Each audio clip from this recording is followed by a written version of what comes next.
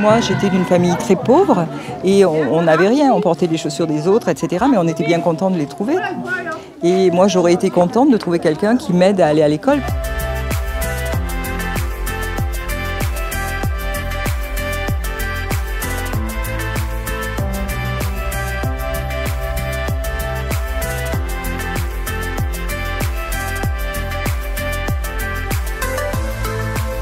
C'est un grand honneur pour moi d'être notable ou fille d'honneur de la reine.